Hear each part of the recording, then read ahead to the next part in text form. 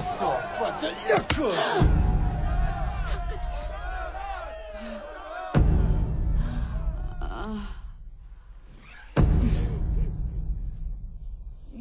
Now, that was a clip from the stoning of Soraya M., which tells the true story of a young woman facing violence and persecution in an Iranian village. It is not only her story, but the story of women throughout Iran and other countries throughout the Middle East. Cyrus Nowrasteh is the director of the film, and he joins me now. Cyrus, very disturbing, and um, this is a true story. Tell us about uh, how you got involved in this. Well, it's, it's based on a book by uh, an Iranian journalist who heard the story from the woman in the village just after this incident occurred. He's portrayed by Jim Caviezel in the film. And it was published as a book in the mid-90s. And it's probably the most notorious stoning in incident that's ever been covered uh, inside of Iran. And, of course, we know that stonings continue. Well, uh, first of all, you, you show the film, and it's fairly gruesome, and we'll show some to our audience, but she's literally buried, you know, halfway up to her waist. But at, and at different points, as you can see there, you know, it tells a story about her husband lying because he wanted to get rid of her and comes up with this plan and this plot and this scheme to get rid of her. And then the entire town turns on her, and they even force her, her own sons to, to throw stones at her, and her own father, you know, uh, uh, disowned her in this. Well, that's exactly as it happened, Sean. And what you have is a situation where the husband of the accused uh, woman, Soraya, and the local cleric and the mayor sort of conspire together to, in effect, frame her. And this is, this is how it took place. And it could only take place in a situation where the penal code in Iran allows for it. Well, uh, that's what I want to talk about here, and that is um, this is happening, and this is happening today. How common is this? Well, you know, according to Amnesty International, within the last year, eight women and one man have been sentenced to death by stoning. We know of a Reuters report in just May 5th recently of a stoning that took place.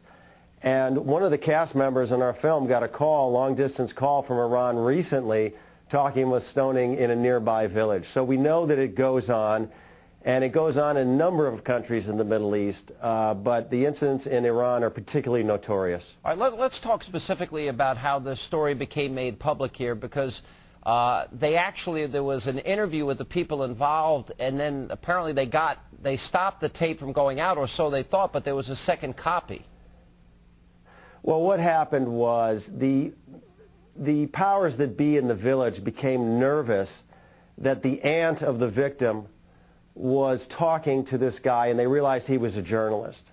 So they tried to stop him from leaving. And in effect, they were able to slip, he was able to slip out past them with the right tape and he was able to tell the world this story. So there is some triumph and hope at the end of this movie that the story got out. And this movie is just the next extension of that story, story being told.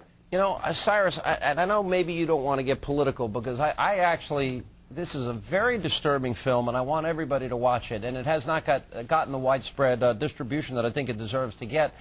I, I, I guess what politically bothers me and angers me is that when you look at, for example, all that American troops have done in Afghanistan to liberate women that weren't, weren't allowed to go to school, weren't allowed to go to work, if, if you look at the same thing in, in Iraq and elsewhere, and the opportunity because of American sacrifice to free women from this tyranny. Where are liberals in all of this? Why, why aren't there more outspoken women's rights advocates in all of this? Well, you know, we're starting to hear from them thanks to this film. Uh, Amnesty International recently hosted a, a, screening of the film in London. We are going into wider release this week and next. We'll be playing in theaters, uh, many theaters across the country. And uh, that was really the purpose behind this, Sean, to just let people know that this goes on and it needs to be addressed. What does it say about, because, for example, um, I looked at the comments of the father, and, you know, when he disowned this, this daughter of his, and even though these charges were, were false that were brought against her of, of adultery here, you know, God help me kill this, quote, expletive that I won't repeat here. And then the husband throws the stones. Then the, the, the, the children of this woman end up throwing stones, which is child abuse in my mind. How, all of this is happening. How often is it happening? Well, you know, it's, it's hard to tell because the Iranian regime is, and they should be, embarrassed by stories about stonings getting out. And I think they should be embarrassed. And the more attention that's brought to bear on this, uh, many people have said to me that they're going to see this movie as an expression of defiance toward the Iranian regime. They should be forced to face these issues and hopefully abolish stoning soon. Yeah, and one of the things they were telling the young boys in this film is, well, this is a man's world. Is is this the the overriding view of most in in these countries in the Middle East that we're talking about? Well, you know, that was partly a uh, backlash to uh, the days uh, under the under the Shah when uh, women were given their uh, freedom to come out from under the veil, to go to school, to study, to work openly.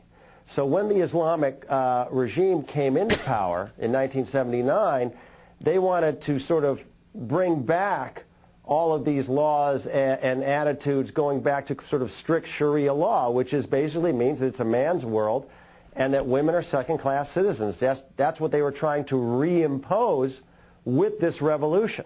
Yeah, you know, and th by the way, this is the, the, all the freedom fighters in Iran that, that wanted to stand up against this corrupt um, election that took place against uh, Adolf Ahmadinejad. Uh, you know, the president to say that uh, we ought not be meddling in uh, their affairs and all they wanted was a little bit of solidarity from the United States, I think it speaks volumes because that's what he would have been meddling against, right? Yeah, well, I, I, I think the Iranian people, their voice will be heard again, and uh, hopefully we'll be better prepared to support them. Soraya M., great movie. Cyrus, good to see you. Thank you for being with us. Thank you, Sean. All right, in